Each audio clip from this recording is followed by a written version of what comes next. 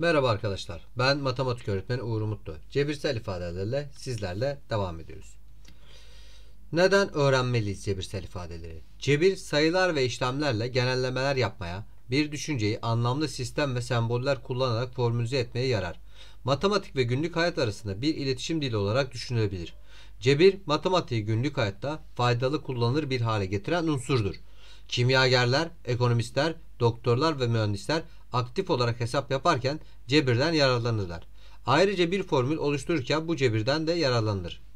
Cebirin kurucusu El-Harazmi'dir. Harazmi'nin matematik alanında çalışmaları cebirin temelini oluşturmuştur. Örneğin taban uzunluğu A birim, yüksekliği H birim olan bir üçgen alanının A çarpı H bölü 2 birim kare olması cebirsel bir ifadedir. Cebirsel ifadelerde değerler çok rahat değişebiliyor. Benzer şekilde taban kenar uzunlukları A birim ve B birim yüksekliği H birim olan bir dikdörtgenler prizmanın hacim formülü V eşittir A çarpı B çarpı H birim küp olması da cebirsel bir ifadedir. Fen bilgisi dersinden hatırlayacak olursak yoğunluk formülündeki D M bölü V de cebirsel bir ifadedir. Yandaki dikdörtgenler prizmasının hacmini veren cebirsel ifadenin değişkenlerini, terimlerini, sabit terimini ve terimlerin katsayıları nasıl bulacağını düşününüz ve açıklayınız. Yukarıdaki ifadeden örnek alırsak hacim tüm hepsinin çarpımıydı. O zaman burada V eşittir A çarpı B çarpı H diyebiliriz. Bu hacmini cebirsel ifadenin değişkenler A'sı B'si H'tır. Sabit terim yani herhangi bir değişken olmama durumu yoktur. Terimlerin katsayıları da verilen ifadelerden kaynaklı olacaktır. O yüzden şu anda sadece değişkenler vardır. Cebirsel ifadenin anlamı da zaten bu A, B ve H'ın değişerek hacminin değişmesini sağlayacaktır. Hatırlayalım. Bir kenar uzunluğu A birim olan karenin çevresi 4A birimdir. Eninin uzunluğu A birim, boyun uzunluğu B birim olan dikdörtgenin çevresi ise 2 artı 2B birim olacaktır. 2 artı 2B de bizim için cebirsel ifadedir. Cebirsel ifadelerde kullanılan x, y, z, m, n ve k gibi harflere değişken yani bilinmeyen denir. Değişkenleri ve aynı değişkenleri kuvvetleri eşit olan terimlere de benzer terim denir. Benzer terimler kendi aralarında ortak çarpan parantezi alınarak toplam ve çıkarma işlemi yapılabilir. Benzer terim olmadığı sürece toplam ve çıkarma işlemi yapılamaz. 4x cebirsel ifadesi farklı biçimlerde yazalım. 4 işlem kullanarak 4x ifadesini yazarken 4 tane x'i toplayabilirim. 5x'ten çıkartabilirim. 2 ile 2x'i çarpabilirim. 8x'i 2'ye bölebilirim. Farklı şekilde yazabiliyoruz. Birlikte yapalım 2. 8x kare çarpı y cebirsel ifadesine özdeş cebirsel ifadeleri yazalım. 4 işlem kullanarak 8x kare çarpı y ifadesini farklı biçimlerde yazalım. 4x çarpı 2xy 6x kare y ile 2x kare y'yi toplamı 6 ile 2'nin toplamı 8 edecektir. 11x kare y'den 3x kare y'yi çıkartırız. Dikkat edin benzer terim olmadığı sürece herhangi toplamı çıkartma yapamam. 16x kare çarpı y bölü 2 16 ile 2 sadeleşirse 8x kare olarak karşımıza geçer. Aşağıda verilen durumlara uygun cebirsel ifadeleri karşısında yer alan boşluklara yazınız. Yani sözel verilen bir ifadeyi matematik cümlesine çeviriyoruz. Bir kenar uzunluğu A olan eşkenar üçgen. Üç kenarı vardır. O zaman burası 3 çarpı A olacaktır. Bir kenar uzunluğu x birim olan karenin alanı x ile x'in çarpımı yani x kare karşımıza çıkar. Eni m boyu n olan bir dikdörtgenin alanı kısa kenarla uzun kenarın çarpımı m çarpı n olur. 3, 5, 7, 9, 11 sayı örüntüsünün kuralı 2n artı 1'dir. 0 yazdığımızda pardon 1 yazdığımız zaman n eleman z artı diyorum. 1 yazarsak dikkat edin 3, 2 yazarsak 5, 3 yazarsak 7 gibi gider. Bir sayının 5 fazlası yani x'in 5 fazlası. Bir sayının 4 katının 10 eksiği. Bir sayı x yerine a diyelim bu sefer. 4 çarpı a eksi 12. Bir sayının 3 eksiğinin 8 katı. x'ten 3 çıkartacağım ve 8 katını alacağım. 8 ile çarpıyoruz. Ya da 8 parantezinde x eksi 3 olacaktır. Ahmet'in cevizlerinin 5 katının 4 fazlası Ahmet'in cevizlerine A desem 5 katı dediği için 5A artı 4 olur. Kerem'in parasının 6 katı yani 6K olarak 6 çarpı Kerem 6 çarpı X de diyebiliriz. Ayşe'nin yarışının yarısının 4 eksiği. Ayşe'nin yarısının yaşının yarısı böldüm 2'ye 4 de çıkarttık. A eksi 2 böl A bölü 2 eksi 4 olacaktır. Cebirsel ifadelere uygun sözel bir durum yazınız. Bir sayının iki katının dört fazlası. Bir sayının b artı 5 çarpı 3 dediğimiz şey 5 fazlasının 3 katı. Bir sayının 7 katının 12 eksiği. Sayının 2 katının 7 fazlasının ve yarısı oluyor.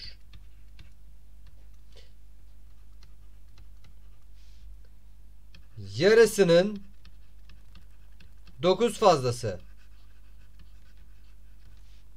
Üçte birinin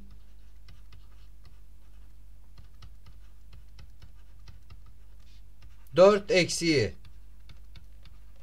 şeklinde ifadeler yapabiliriz. Aşağıdaki cebirsel ifadelerde değişkenleri bulalım. 2x artı 3 ifadesinde x değişik değer vereceğim bir ifadedir. x değişkendir. 7a kare 18'de a değişkendir. 8m eksi 7n artı 13'te n ve n iki tane değişken olarak karşıma gelir. 18 eksi 12 bölü 6 bir cebirsel ifade değildir. Çünkü sonuç yoktur ve değişken yoktur. 45 artı 15 çarpı 2 eksi 7 yine cebirsel ifade vardır. Sonuç vardır. Değişken yoktur. Değişken lazım bize. X küp y eksi 9x kare y gibi cebirsel ifadedir. x ve y bizim için değişkendir.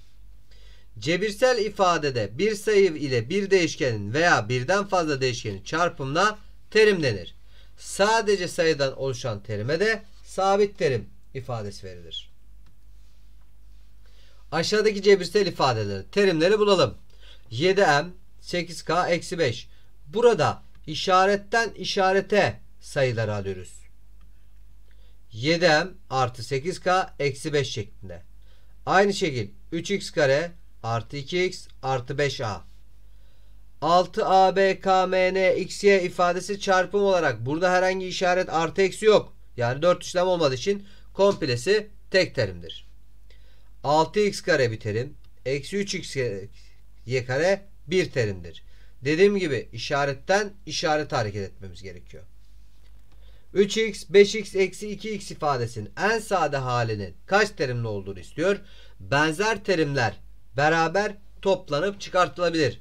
3x, 5x ve 2x'in farkı yapıldığı zaman 8x eksi 2'den 6x olarak kalacaktır. 8a kare b eksi 3a kare b eksi 7a a b kare. Benzer terim olarak 8a kare ile 3a kare var. O zaman 8'den 3 çıktığı zaman 5a kare b olacaktır. Ama 7a'nın b'nin karesi de olduğu gibi yerinde kalacaktır. Verilen cebirsel ifadelerin en sade halini yapalım diyor. Önce buradaki parantezler 3x ile 3 eksi 2 ile çarpılıyor. Daha sonra 2x ile 4 işlem yapıldığı zaman 5x eksi 2 en sade hali oluyor. Burada eksiği dağıtmam gerekir. 6a eksi 5 eksi 5a artı 4. Benzer terimi 6A ile 5A'yı çıkartırsam A olacak. Eksi 5 artı 4'ten eksi 1 olacak. O zaman çözüm A eksi 1 oldu. 3A ile B'yi dağıtıyorum. 3A artı 3B artı 3A artı 7. 3 3 6 tane A var. 3B var ve 7 var. Yani 6A artı 3B artı 7. A'yı çarpıyoruz. 2A kare B eksi 3 AB'nin karesi. Eksi 4. Herhangi bir işlem yapılmıyor. Çünkü herhangi bir olay yok. Benzer terim yok. Olduğu gibi kalacaktır. 3 ile 2a'yı çarparsak 6a artı 6b eksi eksi 2 ile çarparsak eksi 6a eksi 6b oldu. Burada a'lar birbirini b'ler birbirini götürse 0 olacaktır ve sonuç 0 kalır. 4x eksi 4y artı 5 benzer terim olmadığı için olduğu gibi yazılacaktır. Benzer terimleri topluyorum. 7x ile 4x toplarsak 11x 9y'den 3y çıkartırsam 6y ve herhangi bir şey olmayan 5 kaldı. Ne oldu o zaman burası da? 11x artı 6y artı 5 oldu. Aşağıdaki cebirsel ifadelerde değişkenlerin katsayılarını bulalım. 2a eksi 7b cebirsel ifadesinde a'nın katsayısı 2, b'nin katsayısı eksi 7'dir. Burada terimleri ayırdığım zaman da görebilirim. 2a ve eksi 7b bizim için terimdi. Terimlerin yanındaki sayılar bizim için katsayı olacaktır. Eksi 4a kare b artı 5 b kare dediğimiz zaman buradaki 5 ve eksi 4 bizim için katsayı olarak geçecektir. 8x kare artı 5y eksi 3 x'in katsayısı 8 y'nin katsayısı 5 ve sabit terim olan da katsayıdır. O zaman ne oldu? x karede 8 y karede 5 sabit terimde eksi 3 buluyoruz. Cebirsel ifadede bilinmeyenin yanında bulunan sayı işareti ile beraber bilinmeyenin katsayısıdır. Sabit terimlerde kendi başına işaretiyle beraber bir katsayıdır. O zaman sabit terim katsayı olacaktır.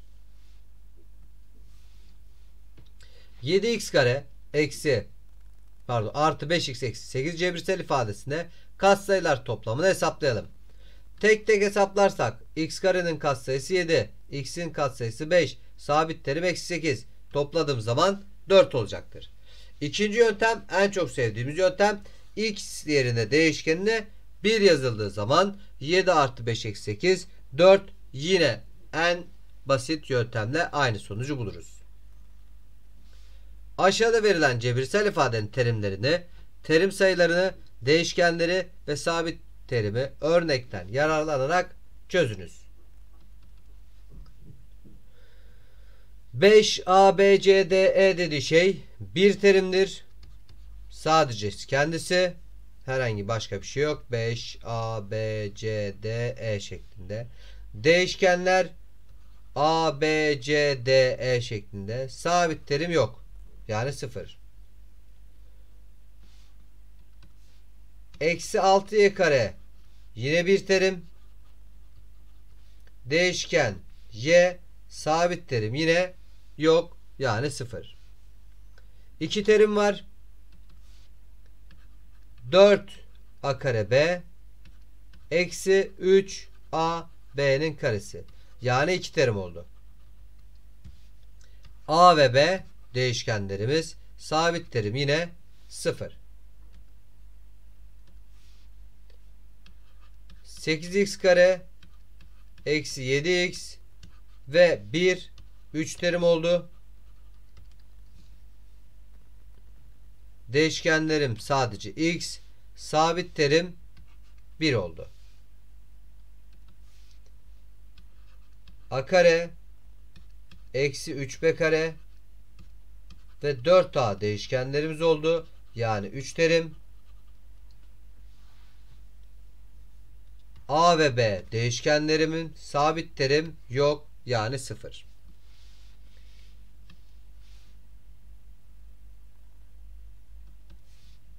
x y kare x kare y eksilisinden ve eksi 5 3 terim oldu.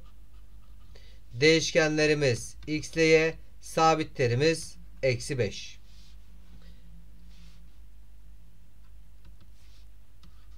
İki y kare eksi 4y ve eksi 9 yine 3 terim. Değişken sadece y oluyor ve sabit terimim herhangi bir yanında değişken olmayan eksi 9 oluyor. Katsayılar toplamı sabit terimleri verilen örnekten yararlanarak bulunuz. 5a eksi 7b a'nın katsayısı 5 b'nin katsayısı 7 sabit terimi 0 değişkenlerin yerine 1 yazarak katsayılar toplamını buluyoruz. Burada katsayılar 6 eksi 4 ve eksi 10 olacaktır. Bir yerine yazdığımız zaman değişkenin yerlerine 6 eksi 4 eksi 10 olarak çıktığı zaman eksi 8 eder.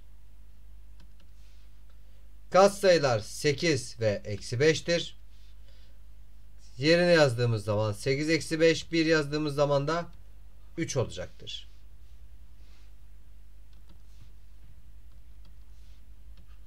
Dört eksi 2 artı 5 artı 12 1 yazınca değişkenler yerine x, y ne görüyorsak değişkende 1 yazıyoruz.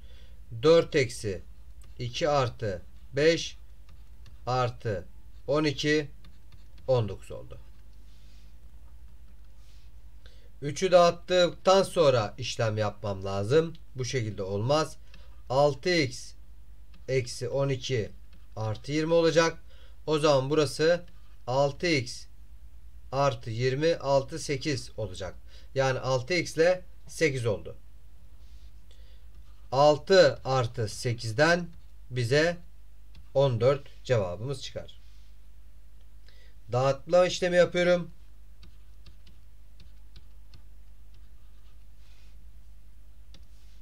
Buraya düzenli yazalım.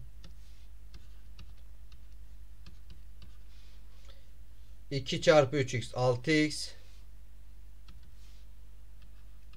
eksi 10 artı 8x eksi 8 yani buradaki denklemimiz 14x eksi 18 oluyor. Katsayılar dediğimiz şey 14 ile eksi 8 olacak.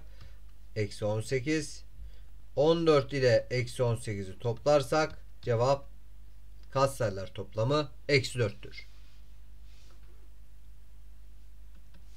13xyz sadece 13'tür katsayı. Toplamlarını da zaten istemeye gerek yok. 13 olarak karşımıza gelir. Eni 2a boyu 5a olan dikdörtgenin çevresini veren cebirsel ifadenin en sade halini bulunuz. Dikdörtgenin çevresini istiyor. Yani şöyle bir ifadede burası 2a burası 5a. 2a artı 5a'dan 2 tane var. 2 çarpı 7a o da 14a olarak karşımıza çıkıyor. Pascal üçgeni size bir araştırma da verelim. Pascal üçgeni ve Ömer Hayyam üçgeni arasındaki ilişkiyi bulunuz ve onlar hakkında bir düşünce işlemi yapınız. Evet, cebirsel işlemle ifadelerde çarpma işlemi. Serap Hanım odasının penceresinde perde almak için manifaturcuya gitmiştir. Manifaturacıdan aldığı dikdörtgen şeklinde perdenin kısa kenar uzunluğu A metre. Şöyle kısa kenardan A desek. Uzun kenar uzunluğu 3A eksi 2 olduğuna göre bu perdenin alanını veren cebirsel ifadenin nasıl yazıldığını düşünelim. Alan dediğimiz kısa kenar ile uzunun çarpımıdır. Kenarların çarpımı alan budur. Yani A ile 3A eksi 2'nin çarpımı olacaktır. A ile 3A'yı çarparsam 3A çarpı A eksi 2 çarpı A olur. A ile A'yı çarptığımız zaman üstü sayıdan 3A kare eksi 2A şeklinde alanı bulabiliyoruz.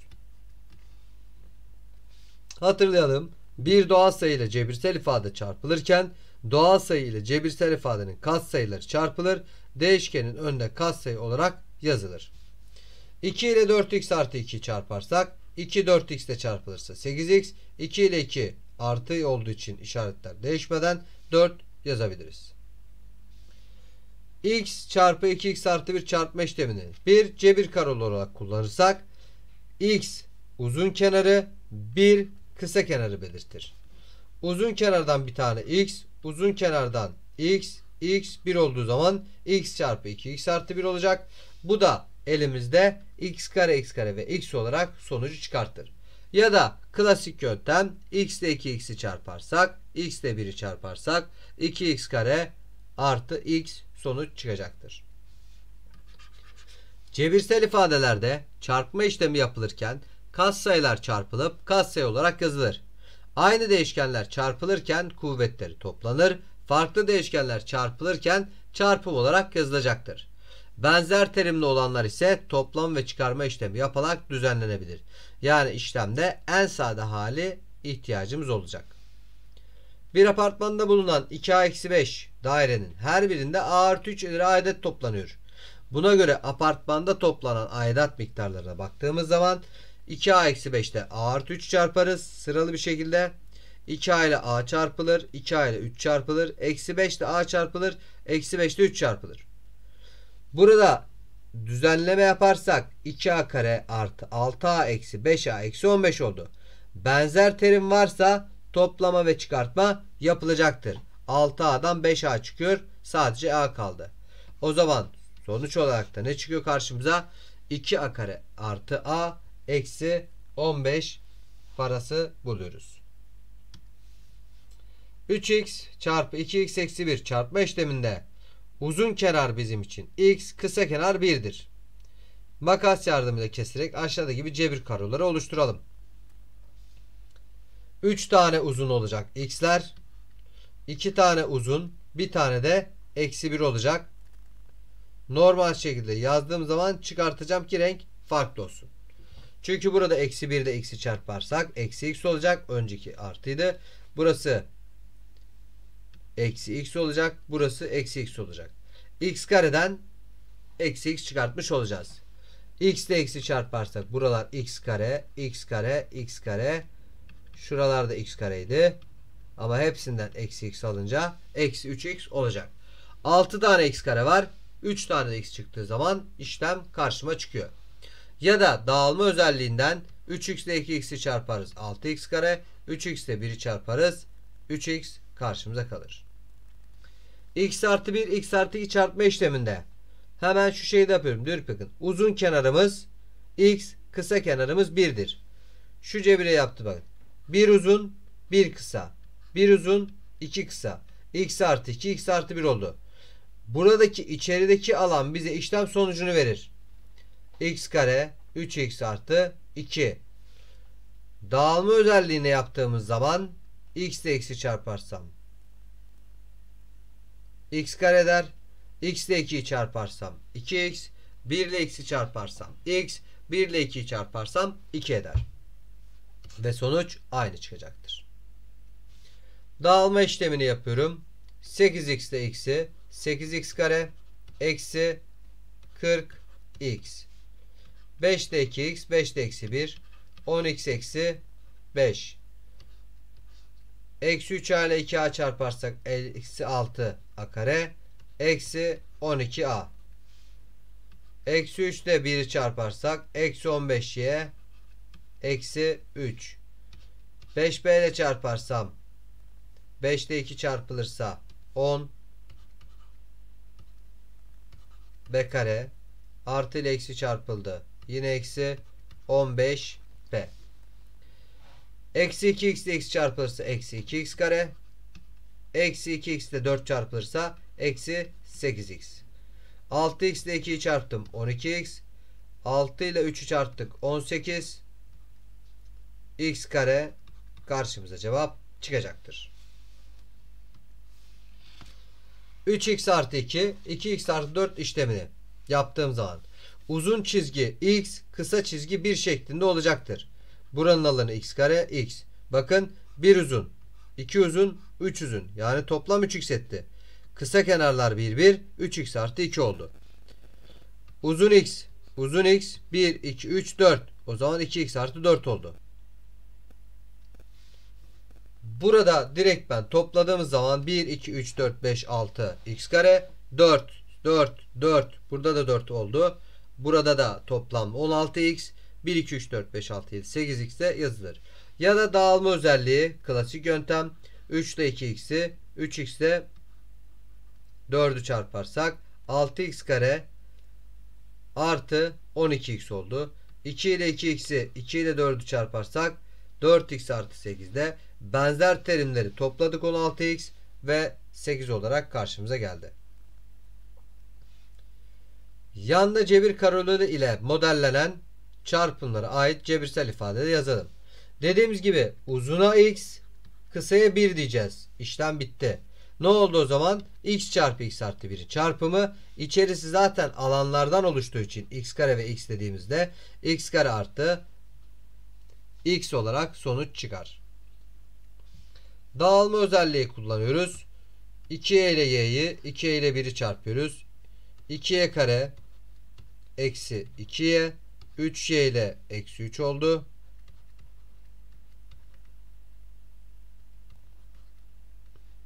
Benzer terimleri toplarsak 2y karede bir şey yok. Burada bir tane y bir de eksi 3 var. a ile a'yı a ile 4'ü çarpıyoruz. a kare artı 4 eksi a eksi 4.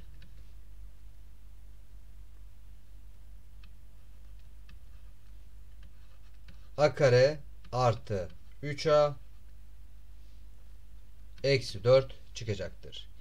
Eksi 2b artı b kare artı 4 eksi 2 b oldu. Düzenlersek b kare eksi 4b artı 4 benzer terimleri toplayıp ona göre işlem yapıyoruz. 4x eksi 1 ile çarpıyoruz. 4 kere 3 12 x kare 8x burada eksi 3x buradan alırsak 5x kalacaktır. Eksi 1 ile 2'yi çarparsam eksi 2. 3x ile eksi çarparsam 3x kare. Benzer terimleri 1 yapıyorum. Burada 15x. Burada eksi 2x gelecek. Ve 13x olacak elimizde. Eksi 2 ile 5 çarparsam eksi 10. 1 eksi x x artı 1. Buradan x kare eksi